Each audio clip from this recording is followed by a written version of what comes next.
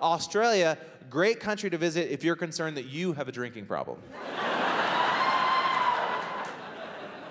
like, I don't know if you are aware of this. An Australian is just an Irishman who's been left out in the sun for too long. That's, that's how they make Australians. They don't have babies like the rest of us. You take an Irish person, you just airdrop them in the desert without sunblock, in like six weeks, just like oi, oi, oi. They sort of melt into Australians. It's a strange phenomenon. But it was nice to go to Australia because there's no pressure to speak a second language. I was in Western Australia where a lot of people don't even speak a first language. It's like, oh, I don't know what weird sounds are coming out of your mouth, but I refuse to believe information is being conveyed at all.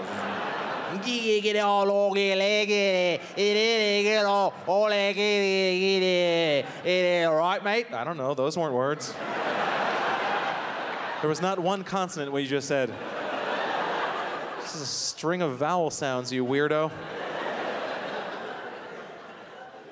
I think Americans catch too much shit from other countries for only speaking one language.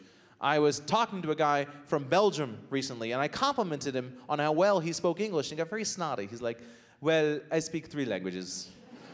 In Europe, we all speak multiple languages. Only in America, you speak one language. Dude, you know why you speak three languages?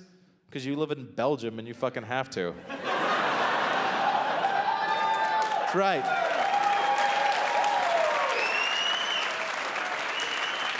I don't want to sound like an imperialist, but let's be honest here. Belgium, a very petite nation.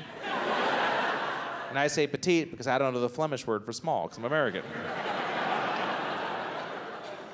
Everyone not laughing is like, what the hell is Flemish? I thought they spoke Belgian.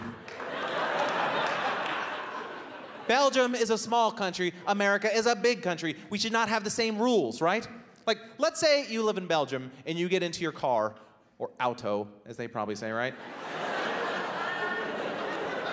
and you just start driving. That country is so small, no matter which direction you go, within three hours, you're gonna be in a completely different country with its own history and culture. It's not like that here in America, right? What happens if this guy gets in his car and drives three hours? What's he gonna see? Fucking that dude. It's all the same.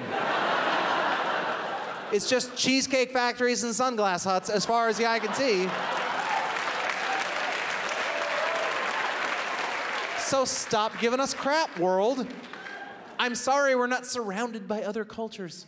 We only have two neighbors in America, and they're a fuck of a distance from each other, right? like if you live near the border of one of them, you don't know anything about the other, okay? No one who has spent his entire life in Vermont knows how to make a good pico de gallo. And no one from San Antonio knows how to shovel a driveway. That's. Right?